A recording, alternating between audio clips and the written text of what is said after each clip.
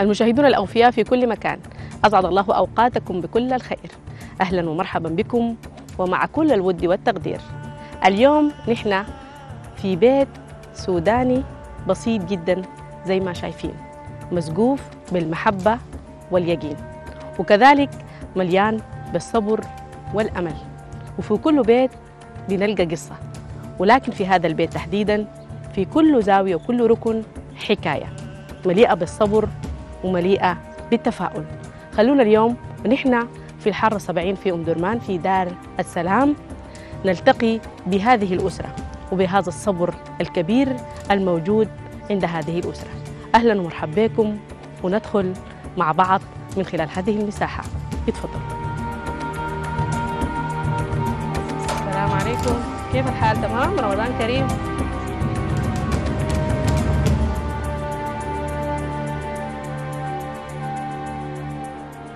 خالص التحية لكم متابعينا ومتابعي مع كل الود والتقدير. وزي ما عارفين متابعينا آه، في هذا الشهر الفضيل آه، دوما ما نلتقي بعدد من الأسر والشرائح المتعففة والمستضعفة. ونحن اليوم مع آه، أم عندها خمسة من الأبناء وعندها يعني محاور كثيرة حتتكلم عنها من خلال هذه الجلسة البسيطة.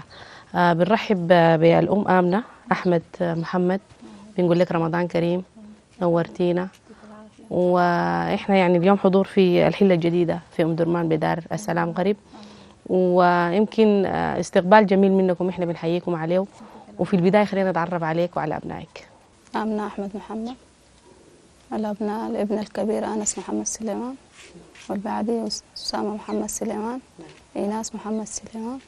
وأحمد محمد سليمان. ومنال محمد سليمان الصغيرة ما شاء الله ربنا يحفظهم. ربنا يديهم العافيه وأنس وأسامة وإيناس وأحمد ومنال إن شاء الله يا رب.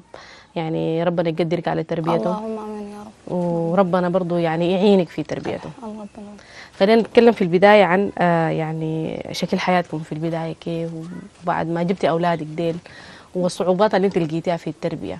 خصوصا أنا عرفت إنه انت عندك البعض منهم عنده إعاقة. إعاقة الحمد لله على كل حال. نحمد الله كثير. والحمد لله رب العالمين. درسوا فيهم الدرس وفيهم اللي ما قدر يدرس. مم. والحمد لله على كل حال. حياة مبسطة مشينا طيب منو ال- ال- قدر يكمل دراسته ومنو ما قدر يكمل دراسته وليه؟ والله الكبير ده لحد خش أولى جامعة. اللي هو أنس؟ أنس ده. مهم. والحمد لله كان دفعت له القسط الأول يعني بصعوبة شوية لكن الحمد لله على كل حال. باقي عليه القسط الثاني. وفي أسامة ده درس لحد ساد لكن ما قدر يقرأ ما بيقرأ ما بكتب. يعني مدرجينه على كل حال إنه معاق عنده. مشكلة في الكتابة يعني؟ عنده مشكلة وخشمه تقش شوية ما بيقدر ما بيقدر يتكلم. الناس دي أهو درست لحد تاني أساس. مم. وما كملت؟ ما كملت. ليه ما كملت؟ ما بتقدر تقرأ وما ب- يعني ما يدها ما بتكتب كويس. تاني جاتها تشنجات كده يا هو قال لنا جلطة. ربنا يشفيها إن شاء الله. شاء الله يا رب. في النهاية ظهر كيس صلغي في الرأس. يعني قالوا ما في له عملية. لكن ادها الحبوب دي بتاعت التشنجات دي مداومة معاه. يعني بتبلع يوميا حبة؟ يوميا. هو في الشهر باستمرار. 30 حبة يعني؟ 30 حبة. تطلع باستمرار. الحمد لله على كل حال. ربنا يشفيها. طيب برضو خلينا نتكلم عن آه نبدأ بال آه، عندك واحد من أبنائك امتحن للجامعة؟ آية الكبير. خش أولى جامعة. مم. ده ما عنده أي مشكلة. الحمد لله. مشت الحمد تمام. لله. الحمد لله على كل حال. طيب كلمينا كده عن الدخل بتاع الأسرة. والله الحمد لله على كل حال يا هو ما عنده يعني ما عنده مهنة كده لكن أعمال حرة. أعمال حرة. بيطلع يا هو. بيجيب لأولاده الحمد لله على كل حال. ومشي الحال. الحمد لله. يعني يومكم ماشي بخير الحمد لله على بفضل رب العالمين. نحمد الله طيب آه ال ال الواحدة من بناتك أو أولادك اللي ما بيعرف يكتب كانت في محاولة لإنك تحاولي إنك آه يعني تراجعي الحتة بتاعت الكتابة لأنه طبعا دي طبعا بتندرج تحت آه صعوبات التعلم. لا هاي ناس. لكن ما كويس. توديها معهد أو كده؟ لا لا والله ما استطعت. والله ما في إمكانية صح. آه الحمد لله على كل حال ما في إمكانية. مفروض الاثنين أسامة وإيناس دي مفروض عيل لكن يا هو. ما في إمكانيات الحمد لله. طيب الحبوب بتت- تقدر توفرها كل شهر بتاع والله يا والله الحمد لله لما ألقى يا هو بجيبها لما أشوف الدخل بسيط بقدر الإمكان بحاول أجيبها لها عشان ما تنقطع لها لأنه التشنجات دي لو ما وصلت في الحبوب حتشنج استمرارية، دايرة صح. إن شاء الله ربنا يعينك إن شاء الله ويقويك. الحمد لله ويديك حال. العافية أنت. ووالدهم يعني ويقدركم على تربيتهم لأنه دي. ما حاجة سهلة.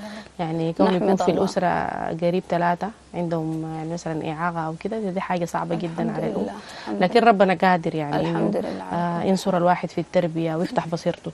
خلينا برضو نتكلم عن آه يعني مصدر دخل آخر طبلية جنب البيت.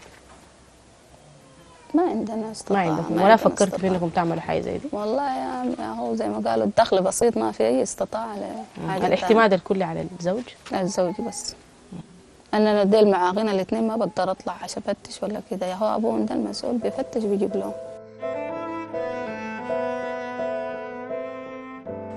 حاضري كغدي معي. كلما حك السحابة طائر دونت أغنيتي وفك الحلم أجنحتي. آمنة امرأة من نسيج بلادي. ارتدت الصبر ثوبا ووشاح. وفي مدينة السلام التي لا يعبر اسمها إلا على قدرة الإنسان على الاحتمال حملت عبء السنوات وهي تستقبل أجنتها في أبناء كانت تحلم بأن يمسحوا عنها رهق الأيام الماضية. لكنها الآن تحمل عنهم مسؤولية أن ينفتحوا على الحياة بدون أن يمروا بها كعابرين وتتحمل مآلات المستقبل بين الابتسامة والدموع.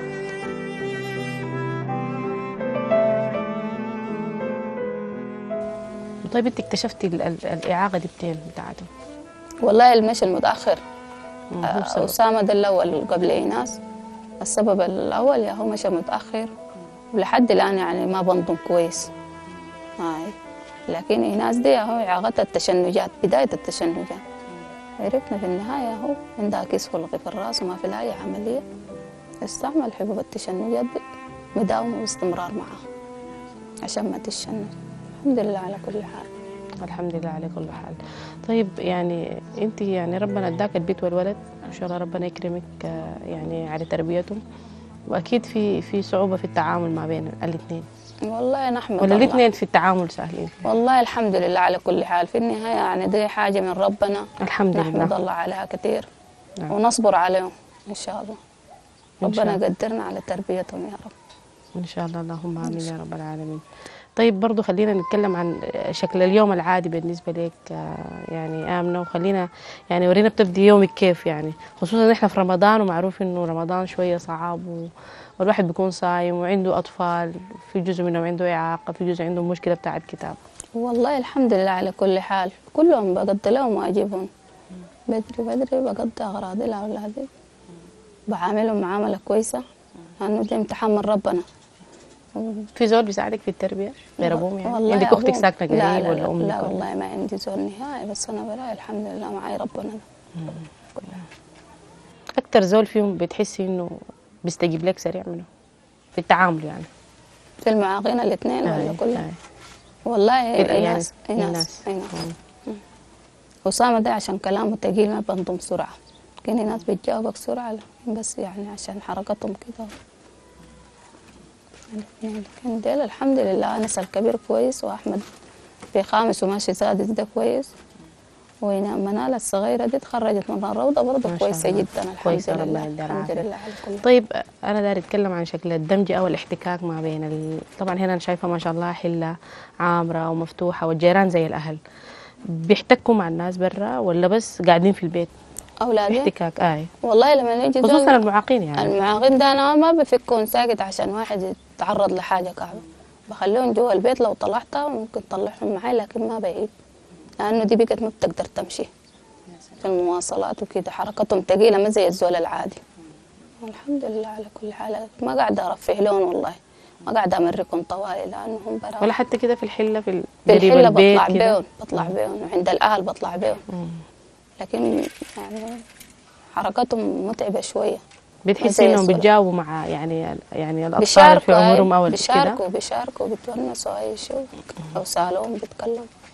طيب كلمين عن أظرف الأو... ال- يعني يعني مرات بتكون في أوقات ممكن تكون انت حاسة إنها هي ظريفة لانهم هم جابوا لهم حاجة كده وبقوا مبسوطين. كلمين عن انفعالاتهم دي بتكون كيف؟ والله والعكس الحمد برضه. والله الحمد لله على كل حال. لما يشوفوا جديد في العيد أبوه جاب لهم حاجة كويسة بيفرحوا. والحمد لله. بيعرفوا بيعرفوا الحاجات السمحة. الحمد لله على كل طيب لما يكونوا زعلانين بتتصرفي معهم كيف؟ والله بتصرف معاهم. بقدر أتكلم معاهم بقول لهم بقدر لكم واجبكم وكذا أبوكم قاعد يجيب لكم كذا. كل حال. الحمد لله. طيب الأخوان الصحيحين بيتعاملوا معهم كيف؟ يعني أنت دائما بتوصيهم عليهم بيساعدوك بيكون كيف التعامل؟ لا لا بساعدوني. بساعدوني لأنه عارفين إنه إخوانهم ديل شريحة برا زي ما. الحمد لله. الحمد ربنا إن شاء الله يقدرك. الحمد لله. إن شاء الله. وربنا يعني هم ذاتهم يعني آه ربنا خلقهم طبعا بيدبرهم في الحمد النهايه لله على كل حال. الحمد لله.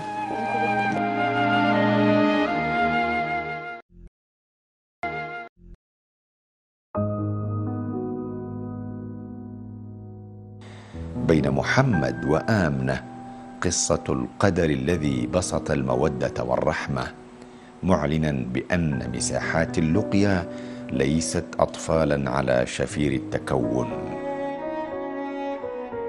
محمد الذي امتهن الأعمال الحرة ظل يدور في قدرية الرزق لأن الأعمال الحرة مرتبطة بدوران الحياة. وقصة الكفاف الذي يطرق البيوت والمقابله بإيمانها العميق وحسن مظانها في الله. مستمرين معكم متابعينا وكاميرا مع كل الود والتقدير حضور في أم درمان دار السلام في الحلة الجديدة قرب أم درمان. وإحنا لسه مع الأسرة آمنة محمد أحمد. وفي المرة دي حنتكلم مع الوالد محمد سليمان. وهو بيتوسط ابنيه أسامة وإيناس. في البداية بنحن- بنحييك ويعني والجهود المتقدرة اللي أنت بتقوم بها آه، يعني مع أولادك. آه، بنرحب بك عبر مع كل الود والتقدير. تحية رمضانية لك. عليكم السلام ورحمة الله وبركاته.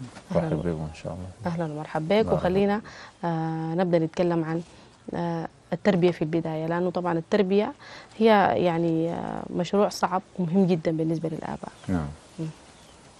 والله الحمد لله كيف بتعاون مدام آمنة في التربية؟ والله الحمد لله. لو نعمل أعمال حرة كده. نمرق الشغل بنيجي المساء بتطلع الصباح؟ نطلع الصباح بنيجي المساء. والله بقسمها لنا ديك ونجيبها إن شاء الله. نجيبها لأولادي إن شاء الله. آه، بتطلع الصباح لحد المساء آه يوم فيه ويوم. ما، صح؟ يوم فيه يوم ما صح. الأعمال الحرة دي زي ما عارفين. ما عندك. حاجة بديلة يعني؟ لا لا ما في بديل والله. ما في بديل. طيب يعني لما تجي راجع البيت بعد يوم طويل من من العمل كيف بتتعامل مع الأولاد وكيف بتساعد آه، أمهم؟ المساعد لانهم ما- فعلا محتاجين الاثنين آه محتاجين للاثنين طبعا لكن يعني الحمد لله هو والله بسهل هذيك ونجيبها لهم غالبا أنت بتهتم بأسامة والمدام بايناس ولا العكس؟ والله كلهم تم بهم سوا ما هو هذه في النهاية يعني. آه، لا يعني قصدي يعني تتقسموا الادوار بينكم آه يعني. لا نعم صح. بحكم إنه أسامة يعني. هو حيكون في النهاية. رجل وكده آه. وايناس حتكون آه نعم ربنا يدي العافية. طيب برضو خلينا نتكلم عن آه، مدام امنه اتكلمت عن إنه في واحدة من الأولاد أو البنات عنده صعوبة في الكتابة كنت بتس... نعم. أسامة عنده صعوبة في الكتابة شوية لو قرأ لحد الصف الخامس وخلاها ما قدر يواصل إنه المعلمين ذاتهم ما ما يتجاوبوا معاه كويس خلى المدرسة طيب هم محتاجين لشنو في رأيك؟ محتاجين لشنو؟ والله ممكن يودوا المدارس بتاعت المعاوين. ممكن أنا الظروف ما بتسمع إنه المدارس, المدارس. قريبة هنا شوية ما في قريبة هنا. إلا جوا جوا أم درمان هنا وغالية شوية الإمكانيات صعبة طبعا. مم. أي مراكز. لذوي الاعاقه يعني. المعاون أو هنا ما, ما في المعاقين قريب هنا ما في. كلها بعيدة ومكلفة لكن الواحد لو. فكر يطلع بهم برا مشكلة. آه لو فكر تطلع مشكلة طبعا. دايرين دايرين آه، جهد ودايرين قروش. زي ما نقول. تعينهم على ذلك. طيب إحنا في رمضان يعني. كيف يومك بيكون في رمضان؟ وإنت عندك خمسة من الأبناء وعليك جهد كبير جدا. وعمل ممكن يكون صعب لأنه برضه في آه، ترغب منك إنك الليلة يعني الرزق طبعا بيد ربنا لكن نعم. الوا- الواحد برضه بيكون عنده مخاوف يعني. آه نعم. والله يا رمضان شهر خير وبركة إن شاء الله. يعني خيراته كثيرة زي ما نقول رمضان كريم بيجي بخير إن شاء الله. في مشكلة. تمشي الأمور بتمشي إن شاء الله.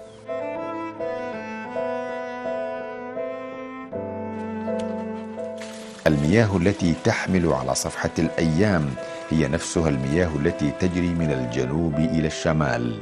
هي نفسها المياه التي وضعت في الزير كي تكتسب برودة الثلاجات التي لم تحظى بأن تدخل بيوت الفقراء. لكن بالتأكيد أن الطعم هنا مختلف.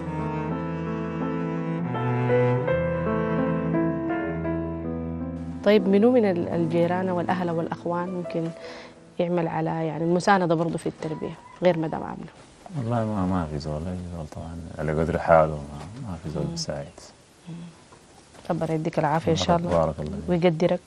ويعني تلقى لك مشاريع يعني من خلالها تقدر انت تلبي طلبات واحتياجات أولادك. وكذلك يعني يمكن هي دعوة لأهل الخير في كل مكان من خلال هذه المساحة الأيادي البيضاء اللي هي دائما ممدودة لفعل الخير في إنه هم فعلا محتاجين لمراكز لتأهيل المعاقين كيف يقدروا يتحصلوا على هذه المراكز ويكملوا تعليمهم لأنه التعليم هو طبعا آه، واحدة من أساسيات الحياة واحدة من الأشياء المهمة جدا اللي بيحتاج لها الإنسان. حتى لو كان عنده مشكلة وأنا بقول إنه دائما هم آه، ذوي الإعاقة هم أصحاب التحدي في الحياة. أكيد عندهم ملكات خاصة بيعملوها. ممكن تكلمنا عنها. أسامة ده بحب الرسم يبقى اللعب كده. كان لقى حاجة كده يحب يرسم يحب. يفتكر حاجة كده يفتكرها كده. في ناس. عندها نشاط معين بتعمله. والله ناس يعني كمان كان لقت رادي جنب ولا تلفزيون جنب يتلاعب به ما عندها مشكلة يعني. بتتابع آه، بتشاهد. بتتابع بتتابع كويس وذاكرتها كويسة. بتحفظ يعني. ما شاء الله تتذكر تبارك طوال يعني. طيب كيف دائما توصياتك بتكون لهم وانت طالع من البيت؟ خصوصا إنهم عندهم جزء من أخوانهم اثنين تقريبا مم. ما عندهم مشكلة. كيف يعني بتوصيهم على إنه التعامل يكون معهم كيف؟ والله يعاونون بيرق وما يصعبوا معاهم ده في النهاية. هاي معاملة كويسة.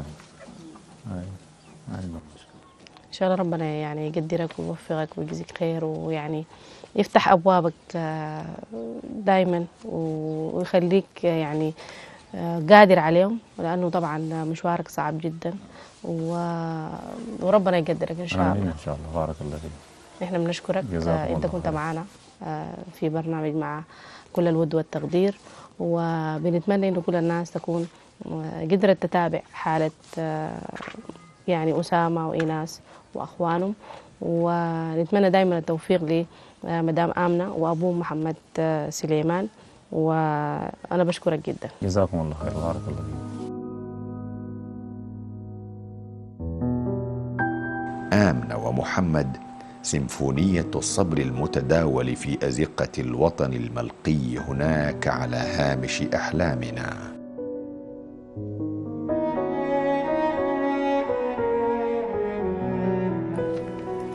إحنا بنتمنى لك يا آمنة إنك ربنا يقدرك عليهم إن شاء الله وإنه الصبر هو مفتاح الحمد لله. آه لحاجات كثيرة يعني. الأمة الصابرة دائما هي آه الجنة مفتوحة لها بالتأكيد والجنة تحت أقدام الأمهات فما بالك لما يكون عندك آه أطفال معاقين الحمد لله إحنا بنشكر آه بنشكرك على يعني الدور الكبير اللي أنت بتقومي به في حياتك الحمد لله وبنقول لك دي مساهمة وحاجة بسيطة جدا من يا الشروق تشكر.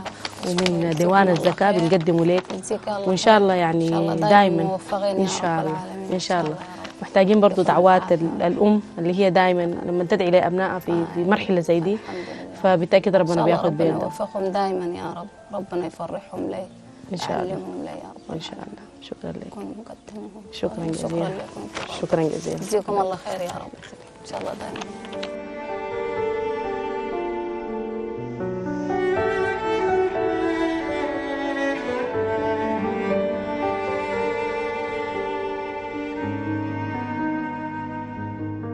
تابعنا مشاهدينا هذه الحلقة آه، بكل الحب والتقدير والود.